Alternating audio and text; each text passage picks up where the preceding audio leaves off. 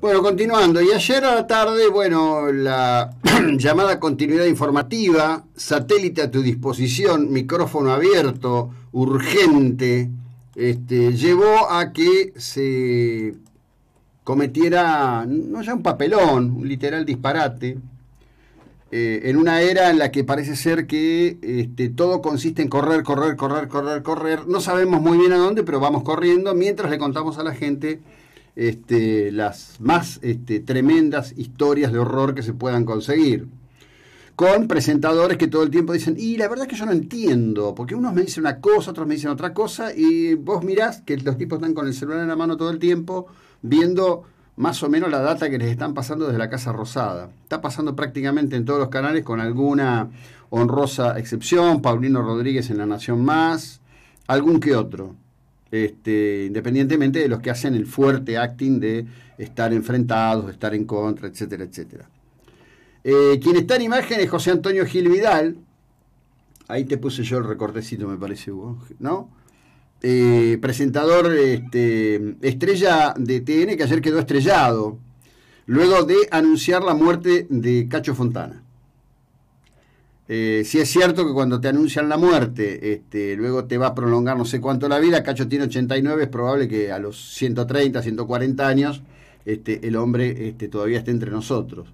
Una cosa espantosa, porque además inmediatamente del anuncio comenzaron a hacer el acting del dolor. Yo sostengo esto, hacen el acting del dolor.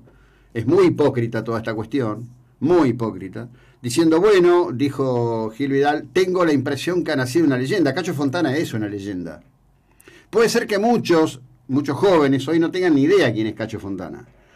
Pero, digamos, los adultos sabemos perfectamente que estamos frente a un hombre que junto con, con, Pinky, eh, Lidia Elsa Satraño, fueron ejes del nacimiento de la, de la televisión argentina, este, junto con otros que este, tuvieron también momentos de absoluto esplendor, cuando había eh, cuatro canales en Capital Federal, dos canales en una ciudad como Mar del Plata y en muchos lugares del interior la gente tenía una, antena enorme, alta, este, subida a una torre, con unas poleas que según este, el momento del año, el campo atmosférico y la progresión este, de las ondas, se corría para ver qué tipo de canal se podía ver en qué lugar.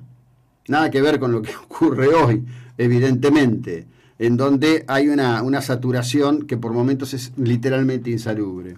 Fue espantoso lo que hicieron ayer, fue absoluta, total y literalmente espantoso, pero fue más espantoso porque mientras estaban condoliéndose y construyendo, este, bueno, creo que realmente ha nacido este, un mito, Cacho Fontana es un mito, vivo es un mito, ¿sí? Este, Fontana hablaba por una radio de Capital Federal y decía, no, no, la verdad que me avisó mi médico que me morí y dice, pero estoy eh, avisando que no, que estoy vivo. ¿eh? Este, una, cosa absolutamente espantosa. Que me lleva a otro tema. En el día de ayer, a consecuencia de una serie de expresiones que viene volcando la ex gobernadora María Eugenia Vidal, en una cuenta que es una cuenta eh, muy potente en el universo de personas que están en Juntos por el Cambio, Em, me respondieron a, un posteo que yo hice con referencia a Vidal. ¿Por qué? Bueno, porque hay una crítica muy fuerte en todo el ámbito de Juntos por el Cambio, en todas las tribus políticas que lo integran, a Emilio Monzó. Emilio Monzó siempre se consideró acreedor de Mauricio Macri en el sentido de que fue el hombre, junto con su grupo, con su equipo, de aquí es este, el todavía hoy diputado Aisega, el concejal Volponi, los que habían construido para Macri la estructura en la provincia de Buenos Aires. Desde el origen, este, yo tenía serias discrepancias con la metodología que ellos llevaban, porque mandaban a hacer encuestas en las ciudades más o menos grandes, y en función de eso decían, bueno, esta persona es visible, vamos por esta persona. En Mar del Plata le marraron en todas. Voy a revelar algo. En un momento Monzó había acordado que el candidato a primer concejal de la ciudad de Mar del Plata por la lista de Cambiemos en ese momento iba a ser el fiscal federal Juan Manuel Petillani en una conversación que mantuvimos en, el hotel que está ahí en, Güemes, había mucha gente, estaba entre otros Franco Bañato, había mucha gente ese día. comentan esto, preguntan, dicen, ¿vos qué opinás? Digo, mira, yo creo que no va a ser. Yo creo que no va a ser, tiene vinculaciones con el sector de masa. Bueno, el día que tenía que ir Juan Manuel Petillani a firmar para estar en la lista es fiscal federal. Ese día llamó y dijo, no, no, ¿sabes qué? Lo pensé mejor, no, no voy a hacer. Se lo avisé 15 días antes, simplemente un tema no de magia, de conocimiento de los personajes. Con posterioridad hicieron muchos intentos por capturarlo al, hijo del, del, acosador sexual cholosiano, cosa que tampoco funcionó, y finalmente recalaron en Franco Baniato. Tengo la mejor con Franco, tenemos mucho afecto personal, nos conocemos de siempre, los dos nos iniciamos en el EU6. Como he dicho muchas veces, yo soy hijo de un colectivero, un ama de casa, él es hijo, es hijo de un de un encargado de portería y, una ama de casa. Venimos del origen que venimos con mucho orgullo y nos hemos construido un camino con nuestros aciertos, nuestras falencias y demás. Claramente, Franco no era un hombre para la política. Su rol como senador de la provincia de Buenos Aires no hace diferencia para la quinta sección electoral, ya no hablo de Mar del Plata. Bueno, todo eso lo hizo Monzó por muchos lugares. Por muchos lugares. Entre otros, este, digamos, consiguió algunos impresentables que hoy los tienen que eh, esconder debajo de la tierra, porque era una metodología absurda. Era hago encuestas y en función de encuestas voy a buscar personas. Y las intereso en estar. En realidad era menemismo, más o menos lo que hizo Menem.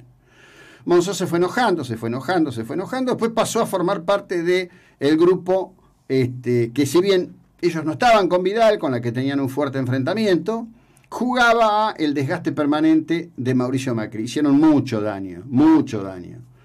Cuando termina el, gobierno de Macri, ¿qué hacen? Arman un bloque con un diputado que tiene eh, y que responde a pose de San Isidro y se apartan. ¿Para qué se apartaron? Bueno, se apartaron para abrir caja. Cuando alguien arma estos bloques chiquitos es para abrir caja. Siempre es igual es para abrir caja, no hay otra cosa. Es para sentarse en el medio y cuando hay una ley potente, importante, que el Ejecutivo de turno necesita, ¿cuánto cuesta?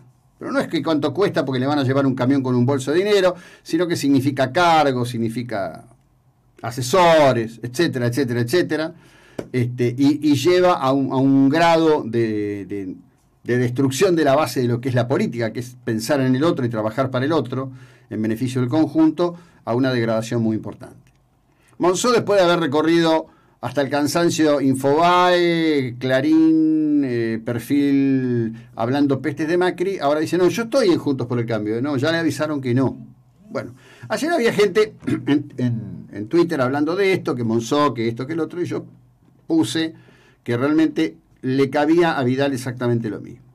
Entonces alguien me contesta y me dice, no, porque en realidad este, ella fue gobernadora y vos y yo estamos acá tuiteando. A lo que tuve que explicar, que llevo 41 años en el periodismo, que para mí Twitter es un instrumento que es parte de un mecanismo de, comunicación, eh, y que en todo caso este, los que se agitan sintiéndose tuiteros son ellos, y es un problema de ellos, no es un problema mío. Twitter es un instrumento, no una definición. Definite como tuitero, la verdad, no te ayuda mucho. Pero bueno, ese es el estadio de las cosas.